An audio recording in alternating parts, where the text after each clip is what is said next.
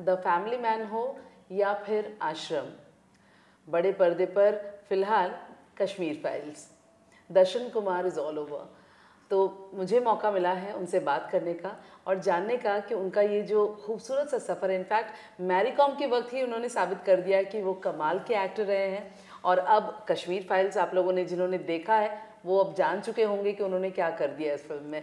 दर्शन बहुत बहुत स्वागत है आपका इंडिया टीवी पर। थैंक यू और thank you for your kind word thank you so much नहीं मतलब कश्मीर फाइल्स देखने के बाद ख़ास तौर पर दर्शन मैं ये पूछना चाहूँगी कि कश्मीर फाइल्स आपके लिए क्या कुछ कर गया?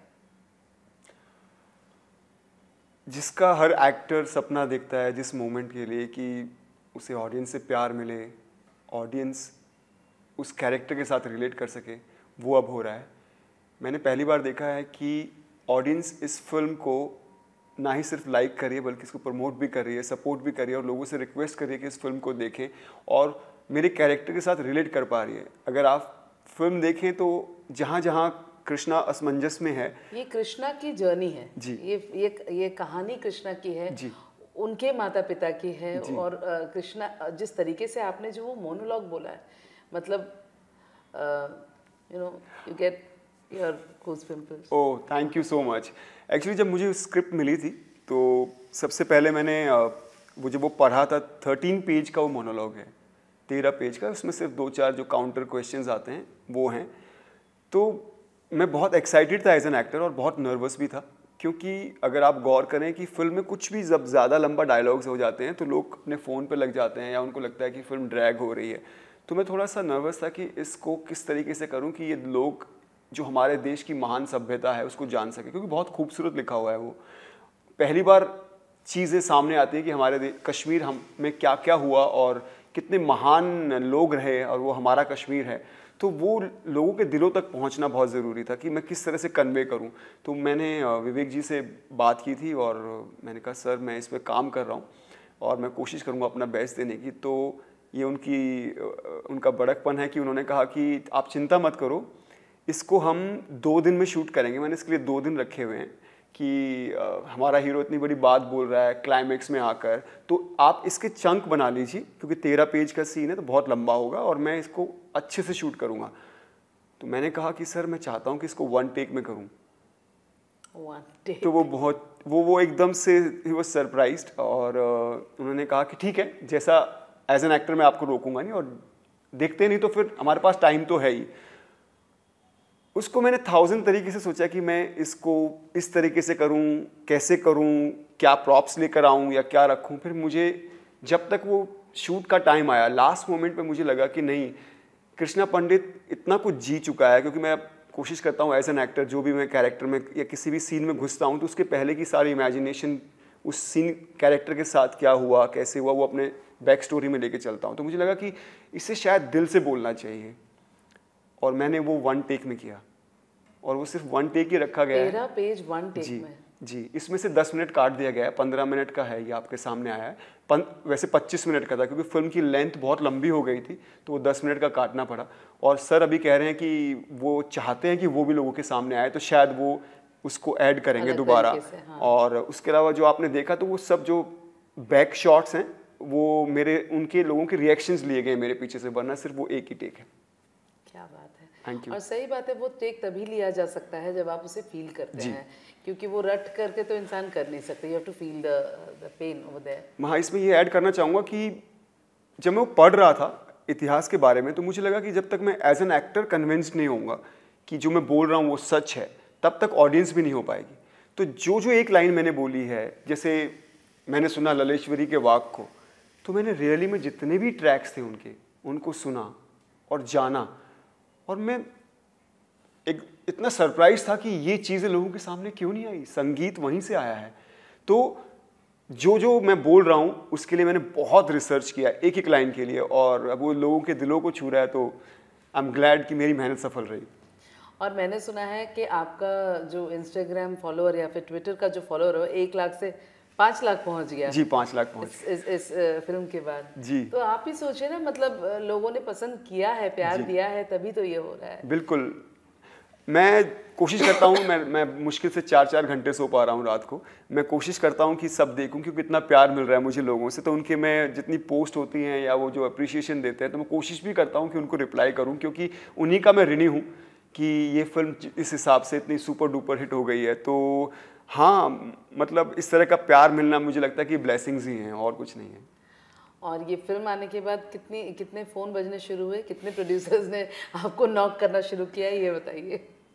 अभी तो मेरा फ़ोन बंद ही नहीं हो रहा है और ये ये इस प्यार के लिए शायद हर एक्टर इंतज़ार करता है कि रात को डेढ़ डेढ़ दो दो बजे फ़िल्म ख़त्म होने के बाद हमारे प्रोड्यूसर्स सारे बड़े बड़े डायरेक्टर्स वो इतने इमोशनल हो जाते हैं कि वो अपने आप को रोक नहीं पा रहे हैं मुझे कॉल कर रहे हैं और कह रहे हैं कि इस तरह का काम करना बहुत बड़ी बात है, वो मेरे काम को अप्रिशिएट कर रहे हैं। तो ये मुझे लगता है कि अब मैं, शायद मेरे दिन बदल जाएँ, क्योंकि इससे पहले मैं बहुत ही बड़े बड़े डायरेक्टर से मिला, वो मुझे एक स्टोरी के लिए बुलाते थे और कहते थे कि तुम्हारे लायक हमारे पास तीन तीन चार चार सब्जेक्ट्स हैं, लेकिन हमें कुछ बॉक्स ऑफ़िस नंबर चाहिए प्रोड्यूसर्स को, आपको सपोर्ट करने के लिए, ताकि आप, मैं मतलब बॉक्स ऑफ़िस भी बहुत इंपॉर्टेंट है। तो शायद इसके बाद अब चीज़ें चेंज हो जाए और हो रही हैं। मुझे अभी ऑफर्स भी आए हैं कुछ लेकिन मैं अभी प्रमोशंस में बिज़ी हूँ तो शायद मैं मैं उनसे मिलूँगा और स्क्रिप्ट में पढ़ूँगा और डिसाइड डेविड धवन ने आपके मोनोलॉग की तारीफ़ की। जी जी। अच्छा मैंने पढ़ नहीं पाया उनका लेकिन हाँ वो मुझे पर्सनली मिले थे दो दिन पहले और बहुत बहुत तारीफ़ कर रहे थे। तो इतने महान डायरेक्टर से ये कॉम्प्लीमेंट मिलना मतलब आ, मुझे गूज बम्स आ रहे हैं। सो so, या मतलब आ, मैं मानता हूँ कि मैं बहुत खुश नसीब हूँ। दर्शन आज जब आप पीछे मुड़कर देखते हो मैरी कॉम से ऐसी शुरुआत थी वो फ़िल्म इतनी अच्छी बनी थी और कोई भी जब हस्ती हम सामने देखते हैं उनके पीछे का जो सपोर्ट होता है वो सबसे ज़्यादा इम्पोर्टेंट होता है। मैरिकॉम के पीछे उनके पति थे। तो वो किरदार आपने निभाया था और उसके बाद लोगों ने आपको काफ़ी पसंद किया था। लेकिन फिर क्या मतलब क्या हो गया कि आप हमको इतने बाद क्यों दिख रहे हैं? जैसे मैंने अभी बताया कि डायरेक्टर्स चाहते थे पर उनको सपोर्ट उनको लगता था कि कुछ बॉक्स ऑफ़िस में कुछ तो चाहिए दर्शन के पीछे। और लेकिन दर्शन ने तो काम किया है इनफैक्ट ओटीटी वगैरह में काफ़ी आपने काम किया है। वो स्ट्रीम कैसा लग रहा है आपको? ओटीटी ने ओटीटी ने ये सॉरी मैं आ, ये क्या। पैंडेमिक के वक्त ओटीटी जो है वो ब्लू एकदम से बूम आया ओटीटी का लोगों ने देखना शुरू किया बहुत सारा कंटेंट आया। ऐसे में आपके लिए ओटीटी में क्या खास? ना सिर्फ़ मेरे लिए मुझे लगता है हर एक्टर के लिए प्रोड्यूसर के लिए राइटर्स के लिए एक नया होराइजन खोल दिया है। और uh, मेरे मैंने तीन वेब सीरीज़ की हैं और तीनों को ही इतनी सराहना मिली है इतना। प्यार मिला है। uh, अवरोध कह लीजिए फैमिली मैन कह लीजिए या आश्रम कह लीजिए। तो अभी क्या है कि मुझे लगता है कि जो फ़िल्में हैं वो टी ट्वेंटी मैच हैं और जो वेब सीरीज़ हैं वो टेस्ट मैच है। तो उसमें आपको मौका मिलता है as an actor you know अपनी इनिंग खेलने के लिए, अपने कैरेक्टर को जमाने के लिए और जो भी ऑडियंस जो देख रही है वेब सीरीज़ वो, उनको लगता है कि वो फैमिली उसका पार्ट बन गए हैं। और वो बार बार, अभी इसलिए वो बार बार पूछते भी हैं कि फैमिली मैन थ्री कब आ रहा है या आश्रम में अभी बहुत जल्द शूट स्टार्ट होगी वो राइटिंग प्रोसेस पे है। पर आश्रम थ्री बहुत जल्द रिलीज़ होने वाला है शूट हो गई है। उसको अभी बस पोस्ट प्रोडक्शन चल रहा है तो बहुत जल्द उसको रिलीज़ करेंगे। आश्रम थ्री में भी आपका किरदार बहुत ज़्यादा बहुत इम्पोर्टेंट है क्योंकि वही एक ट्रैक है जो इन्वेस्टिगेट करता है पूरी तरह से। तो ओटीटी में और कुछ आप आगे सोच रहे हैं या कुछ करने की इच्छा?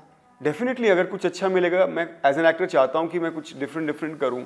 डिफरेंट तरह का रोल्स हो जिसमें मुझे किक मिले मेहनत करने के लिए। जैसे अभी आपने आश्रम का ये कहा तो आश्रम देखने के बाद मुझे, मैं सच कहूँ तो हर रोज़ एक या दो प्रोजेक्ट आते हैं मुझे एज ए कॉप सौ, डेढ़ सौ में इजीली आपको बता सकता हूँ। All big production houses lead parallel lead web series के लिए। पर मैं, मुझे जब तक मैं एज एन एक्टर मैं फील नहीं करूँगा कि मैं उस बेस्ट कर पाऊँगा उस कैरेक्टर के साथ जस्टिफाई कर पाऊँगा तब तक उस कैरेक्टर के लिए भी और और वेब सीरीज़ या फ़िल्म के लिए भी आ, मैं मतलब वो अच्छा नहीं रहेगा उसके लिए। तो मैं कोशिश करता हूँ कि मैं उनको मैं बोल देता हूँ कि सर मैं कंफर्टेबल नहीं हूँ। बट ये ये खुशी भी होती है कि उनको काम इतना पसंद आया कि वो मुझे बार बार उसी रोल में देखना चाहते हैं। दर्शन आपने थिएटर भी किया है। जी। तो क्या यही वजह रही है कि आप मेथड एक्टिंग में ज़्यादा विश्वास करते हैं? जी।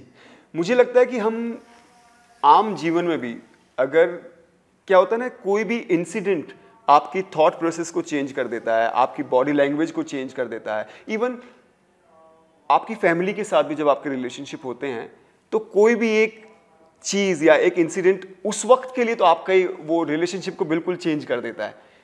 तो वही हमारी सीन्स में होता है फ़िल्म में होता है, जब आप एक्ट कर रहे होते हो तो मैं कोशिश करता हूँ जो जो कैरेक्टर्स के सीन के अलावा, जो पहले उसके साथ हुआ, उसको जी लूँ। ताकि जब मैं वो कैरेक्टर प्ले कर रहा हूँ या जो वो सीन में प्ले कर रहा हूँ तो वो मुझे ज़्यादा सोचने की ज़रूरत नहीं है। अब मैं आपसे जब बात कर रहा हूँ तो मैं सोच नहीं रहा हूँ, मैं आपके क्वेश्चन का सिर्फ़ आंसर दे रहा हूँ।